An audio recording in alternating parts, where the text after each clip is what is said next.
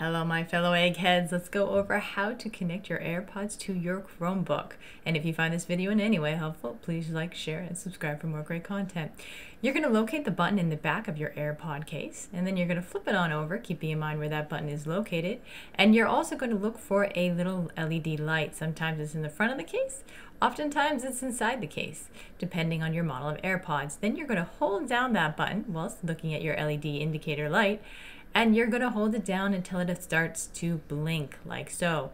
Once it is blinking, it is in pair mode.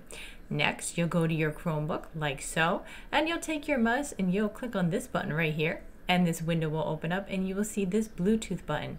Click on it and hit pair new device. Once you hit pair new device, then an additional window will open up. I'll move it on over so you can see it and it will list your devices that are ready to pair. My AirPods, for some reason, are named Wayne's AirPods. My guess is uh, it's because I bought them used, or perhaps they're having some sort of stroke. But either way, those are my AirPods. So I'm going to go ahead and I'm going to click on them